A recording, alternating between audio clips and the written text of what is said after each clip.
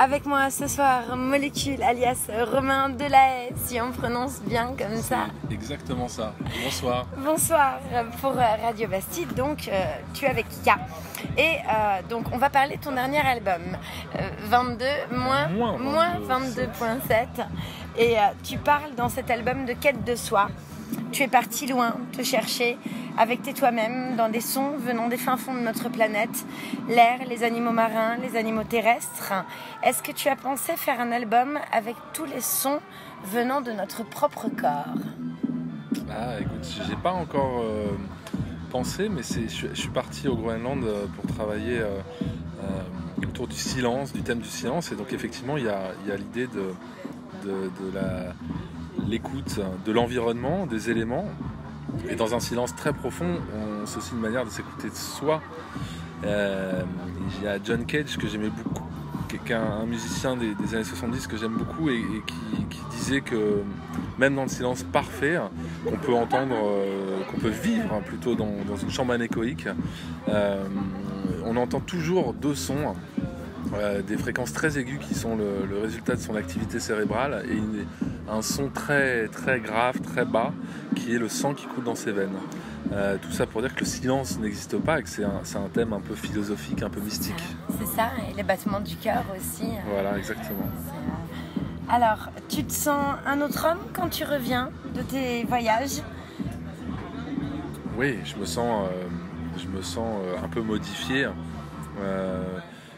c'est difficile à verbaliser, mais c'est une sorte de, je dirais, de force tranquille d'avoir vécu ces conditions euh, euh, assez étonnantes, nouvelles, euh, d'avoir appris, hein, d'avoir rencontré aussi une population, une culture très différente, qui a une vision du monde, de l'environnement, de la mort très différente. donc voilà, on, revient enrichi de tout ça et puis aussi un peu bouleversé. Et est-ce que tu te sens pas aussi tout petit, tout petit? Quand tu es dans cet univers immense. Oui, effectivement, il y, a, aussi cette volonté de se confronter aux éléments euh, naturels, à, la puissance des éléments de, cette nature pour, euh, bah, pour euh, retrouver, d'un certain côté, retrouver un peu sa place face à, cette nature immense, à ce désert blanc, ou alors euh, quand j'étais euh, en plein milieu de l'Atlantique, en pleine tempête, euh, bah, effectivement, on se sent petit face à ça et il y a un respect profond qui se, qui, se, qui se vit en fait. Et on n'est rien que des hommes et on doit le respect à la planète qui nous accueille. Tout à fait. Alors maintenant, ce sera ma dernière question par rapport à la planète et aussi par rapport à toi, c'est subjectif. Quel est le bruit, le son qui te perturbe le plus dans ta vie?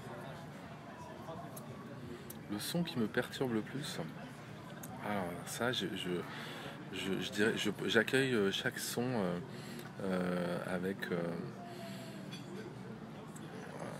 avec attention. après, c'est vrai que ça arrive d'être. Je dirais que c'est plutôt les.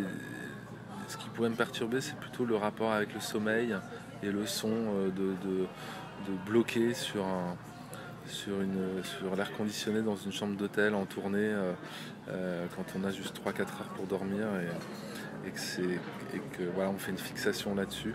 Après, j'ai pas, pas de son. Euh, j'ai pas comme ça. c'est plutôt des sons mécaniques, on va dire, liés à des machines qui peuvent me, qui, peuvent m'agacer dans cette, certaines situations bien précises. D'accord. Et donc une goutte d'eau dans un évier qui coulerait, ça t'inspire ou ça t'énerve? Ça dépend. Ça dépend. Si c'est un évier euh, que j'essaye de réparer et que je n'y arrive pas, euh, euh, à force de répétition et d'échecs, je pense que ça pourrait commencer à m'agacer. après, non, c'est un, j'aime bien prendre conscience des sons aussi environnants, comme ça, des petits détails. ça fait partie un peu du jeu, jeu de la vie. Hein. Ah oui, parce que le Groenland, c'est l'élément eau, et donc tu étais entouré des sons, de l'eau. Euh, de l'eau glacée, hein. euh, contrairement à, l'album précédent que j'avais fait en pleine, en pleine mer. Ouais, ouais, l'eau c'est un élément important. Hein. Bah, on, est, on est rempli euh, à plus de 90% d'eau. et puis il y, a aussi quelque chose de, de, l'ordre de l'inconscient dans l'eau. c'est un, élément qui me qui m'est cher. Puis mine de rien, l'eau c'est bruyant. Et l'eau, ça fait, ça fait du son. Mais beaucoup de choses hein, provoquent du son. Les arbres parlent. au Groenland, j'étais sous les aurores boréales. Je tendais mon micro, je, j'entendais rien, euh, mais les Inuits entendent des sons. Euh, voilà, il y, a un rapport euh, au son comme ça qui est lié aussi à sa culture, à la culture de chacun, à son rapport au monde et à la manière dont on accueille aussi l'extérieur. Hein. L'écoute, c'est une manière très forte, très puissante de mettre en relation son intérieur et, l'extérieur. c'est une manière aussi de se fondre dans, dans, un paysage, dans, dans la nature, tout, tout ça, c'est, on va dire, aussi une démarche pour se reconnecter un peu à, la nature, à ce lien qui nous lie euh, aux éléments euh, qu'on tend à perdre dans nos sociétés modernes. Oui, exactement. Eh merci beaucoup, Molécule, pour cette Merci interview.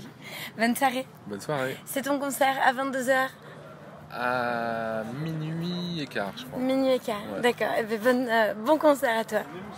Merci.